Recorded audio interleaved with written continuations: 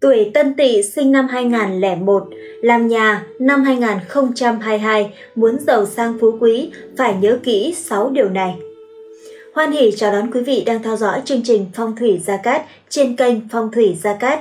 Kênh Phong thủy hữu ích chuyên chia sẻ những kiến thức tử vi, phong thủy ứng dụng trực tiếp trong đời sống hàng ngày.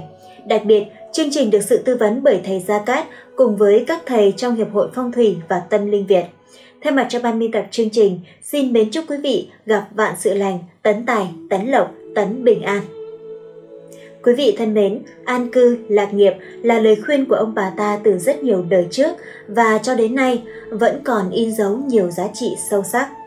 Một ngôi nhà tốt sẽ tạo nên hồng phúc, đem tới vận may cho gia chủ cùng với các thành viên trong gia đình.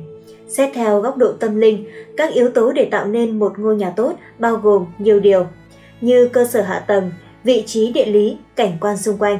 Nhưng trong đó quan trọng nhất vẫn là hướng nhà và tuổi của gia chủ.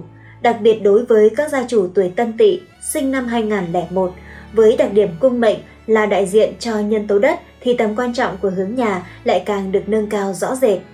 Vậy các mệnh chủ tuổi Tân Tỵ sinh năm 2001 xây nhà năm 2022 nhâm dần thế nào để phúc lộc dồi dào, càng ở lâu càng giàu có, tiền bạc ùn ùn kéo tới thì xin mời quý vị hãy cùng theo dõi nội dung chi tiết được phát sóng trên kênh Phong thủy Gia Cát ngay sau đây.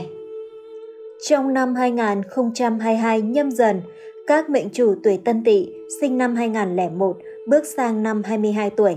May mắn, năm nay các mệnh chủ không bị phạm kim lâu, hoang ốc và tam tai. Xin chúc mừng tuổi Tân Tỵ, mệnh chủ có thể tiến hành xây nhà một cách thuận lợi mà không cần phải mượn tuổi để đi xây nhà. Những gia chủ tuổi Tân Tỵ thuộc cung cấn, mệnh thổ có bốn hướng tốt là hướng Đông Bắc phục vị, Tây Bắc thiên y, Tây diên niên, Tây Nam sinh khí. Những hướng xấu đối với tuổi Tân Tỵ bao gồm bốn hướng sau: hướng Nam họa hại, Đông Nam tuyệt mệnh, Đông độc sát, Bắc ngũ quỷ. Khi ở trong những ngôi nhà không hợp hướng thì những mệnh chủ tuổi tân tỵ thường gặp nhiều trắc trở trong cuộc sống, gia đình nhiều khi bất hòa, cãi cọ, công việc gặp nhiều trắc trở hay bị tiểu nhân hại lén và chọc gậy bánh xe, khiến cho con đường công danh sự nghiệp cũng như tài lộc bấp bênh, cho dù có kiếm được tiền nhưng rồi cũng lại mất hết. Vậy nên để hóa giải những điều xấu do ở nhà không hợp hướng mang lại, những gia chủ tuổi tân tỵ cần phải treo trước cửa nhà một chiếc gương bát quái tinh cầu bằng gỗ đào. Đây là pháp khí phong thủy chuyên hóa giải nhà ở không hợp hướng, giúp cho các gia chủ tuổi tân tỵ treo gương trước cửa để hóa giải những hung khí từ bên ngoài đi vào nhà, cũng như hóa giải những khí xấu do nhà ở không hợp hướng mang lại. Hơn nữa, gương được thầy Gia Cát cùng với các thầy trong Hiệp hội Phong thủy và Tâm linh Việt khai quang chỉ chú và xem ngày sử dụng theo đúng tuổi của gia chủ tuổi tân tỵ. Vậy nên gương sẽ phát huy công năng tốt nhất, mang lại may mắn và tài lộc cho gia chủ tuổi tân tỵ và những người trong gia đình. Quý vị thân mến, sau khi chọn được hướng nhà tốt, nhưng để biết được hướng đó có xây được hay không, chúng ta lại phải xét đến yếu tố thiên khí, tức là những cát tinh và hung tinh ảnh hưởng trực tiếp đến hướng đất quý vị định động thổ xây nhà. Đất được vận thì tuổi nào xây cũng được, mà đất không được vận thì chọn năm khác xây. Vậy trong năm 2022, nhâm dần, những hướng nhà nào xây tốt, hướng nào được trời cho, giàu sang, phú quý trọn đời. Xin mời quý vị và các bạn cùng theo dõi bài phân tích của thầy Gia Cát. Đầu tiên là hướng Bắc. Hướng Bắc gồm có Ba Sơn, Nhâm, Tý, Quý từ 337,5 đến 22,5 độ. Năm 2022 nhâm dần được sao nhất bạch tài tinh đáo đến – Sao nhất bạch là sao tham lang hiệu văn xương, ngũ hành thuộc thủy màu trắng, mùa thu tiến, mùa đông vượng, mùa xuân tiết, mùa hạ tử. Kẻ sĩ gặp nó, ắt được lộc của nó, người thường gặp nó nhất định tiền bạc sẽ vào nhà. Đây là đệ nhất cát thần, nhất bạch lại là quan tinh, nếu nó đương vượng hình thế loan đầu bên ngoài, lại có thủy phóng quang thì khoa cử đỗ đạt, danh lừng bốn bể, sinh con trai, thông minh, trí tuệ, nó mà suy tử thì hại vợ, không thọ, cuộc đời trôi nổi lênh đênh, mắc nhiều bệnh tật về huyết, thận hư hoặc thành kẻ nghiện ngập trộm cướp. Nhất Bạch gặp phương Bắc là tỷ hòa, đấu vượng thì có lợi cho tài văn chương hoặc các công việc về văn. Nếu suy thì dễ bị bệnh về máu, nghiện ngập hoặc chìm đắm trong tử sắc. Vậy nên với những nhà hướng Bắc năm 2022 nhâm dần, hãy treo trước cửa pháp khí phong thủy mai hoa phú quý, đồng thời tại phương vị này trong phòng khách cũng nên đặt một tháp văn xương để kích vận, nghênh sao nhất bạch, giúp cho đường quan vận và học hành của những người trong gia đình được hanh thông, may mắn. Bên cạnh đó hướng Bắc cũng là một trong bốn hướng xấu đối với các mệnh chủ tuổi tân tỵ. Ở vào hướng này bị phạm vào cung ngũ quỷ. Ngũ quỷ là sao liêm trinh thuộc hành hỏa, là hung tinh xấu thứ hai so với tuyệt mệnh. Nó đem đến những chuyện quỷ quái, bệnh hoạn và các tai nạn liên miên xảy đến. Khi ở hướng này, do tương khắc với ngũ hành nên nó sẽ gây nên nhiều mối nguy hiểm hơn. Vì vậy, để hóa giải hung họa do nhà bị phạm ngũ quỷ, các mệnh chủ tuổi tân tỵ cần phải treo trước cửa nhà một chiếc gương bát quái tinh cầu bằng gỗ đào để hóa giải những xung sát do nhà phạm hướng ngũ quỷ mang lại. Thứ hai là hướng Nam. Hướng Nam gồm có Ba Sơn, Bính, Ngọ, Đinh từ 157,5 đến 202,5 độ. Năm 2022 nhâm dần, những nhà tọa tý hướng ngọ bị phạm vào tam sát. Theo Vĩnh Cổ Thông Thư thì tam sát được giải thích là tam sát được chia làm ba dạng, tuyệt là kiếp sát, thai là tai sát, dưỡng là tuế sát. Nói đơn giản hơn thì kiếp sát, tai sát và tuế sát chính là vị trí tuyệt, thai và dưỡng của địa chi. Từ đó có thể hiểu, trên thực tế thì tam sát là tên gọi chung kết hợp giữa kiếp sát, tai sát và tuế sát. Tam sát là phương vị lưu niên xung tam hợp vượng vị. Trong phong thủy có câu, muốn phát tài phải đấu tam sát. Tam sát là một trong những thần sát trọng yếu trong phong thủy nhà ở. Nếu lưu niên phạm tam sát thì tất nhiên sẽ ảnh hưởng đến tài vận trong năm. Cũng dễ vì thế mà gặp họa phá tài, lộ tài, người nhà ốm đau, bệnh tật, tai nạn bất ngờ. Vậy nên những nhà hướng Nam trong năm nay xây mới thì cần phải hết sức lưu ý. Quý vị hãy liên hệ, đặt lịch trực tiếp với thầy Gia Cát để được tư vấn hoàn toàn miễn phí tại văn phòng. Hướng Nam với những gia chủ tuổi tân tỵ cũng là hướng không hợp. Tuổi tân tỵ ở hướng này sẽ bị phạm vào cung họa hại. Họa hại là sao lục tồn thuộc hành thổ, là một hung tinh đem lại nhiều hung khí, gây nên nhiều thiệt hại về sức khỏe và công danh. Nó làm cho con cái đần độn, bất lương, bệnh tật ốm đau, tài sản xa sút Vậy nên các mệnh chủ tuổi tân tỵ cần phải treo trước cửa nhà pháp khí phong thủy, gương bát quái tinh cầu để hóa giải những hung khí do nhà ở không hợp hướng mang lại. Tiếp theo là hướng đông.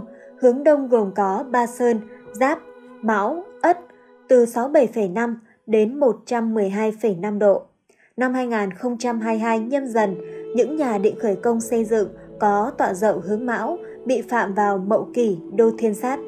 Mậu Kỷ Đô Thiên Sát là một trong năm sát tinh lớn nhất của năm ảnh hưởng trực tiếp đến trạch đất của quý vị. Chính vì nó thuộc một trong năm sát tinh, cho nên trường khí của nó rất mạnh, ảnh hưởng trực tiếp đến sự hưng vượng của ngôi nhà. Vậy nên quý vị hãy sử dụng la bàn phong thủy, đo kỹ lưỡng, rồi liên hệ trực tiếp với thầy Gia Cát để được tư vấn hoàn toàn miễn phí. Những gia chủ tuổi tân tỵ mà ở nhà hướng đông thì không được hướng là một trong những hướng xấu cần phải tránh, vì hướng này rơi vào cung lục sát. Lục sát là sao văn khúc có ngũ hành thuộc thủy, cung là hung tinh, đem sát khí vào nhà, ứng với các tai nạn về lửa, dâm đãng và thị phi. Vậy nên các mệnh chủ hãy nhớ treo trước cửa nhà một chiếc gương bắt quái tinh cầu bằng gỗ đào để hóa giải nhà ở không hợp hướng, giúp cho gia chủ tuổi tân tỵ cùng những người trong gia đình có cuộc sống ấm no, hạnh phúc, đủ đầy. Thứ tư là hướng Tây. Hướng Tây gồm có Ba Sơn, Canh, Dậu, Tân từ 247,5 đến 292,5 độ. Năm 2022 nhâm dần bị sao thất xích phá quân ngự trị. Thất xích là sao phá quân còn gọi là tạc tinh, một trong những hung tinh của huyền không phi tinh. Quý vị nên cẩn trọng khi lập tinh bàn chọn đất xem nhà, bởi vì sao thất xích nếu vượng thì phát về võ quyền, đinh tài đều vượng. Nếu suy thì trong nhà xuất hiện trộm cướp hoặc có người chết trận bị giam cầm, gia đạo không yên, có thể vì hỏa tai mà tổn đinh hoặc xuất hiện người ham mê tử sắc. Thất xích là hung tinh, vì vậy nên tĩnh mà không nên động. Động thì điều xấu càng nhiều. Nhất là nhà ở đầu phố hay ngõ ba thì nguy hại càng lớn. Bởi tính hung hiểm của sao thất xích nên khi quý vị xây dựng nhà cửa cũng cần phải hết sức dè chừng, kẻo ảnh hưởng trực tiếp tới sức khỏe và gia đạo của gia đình bạn.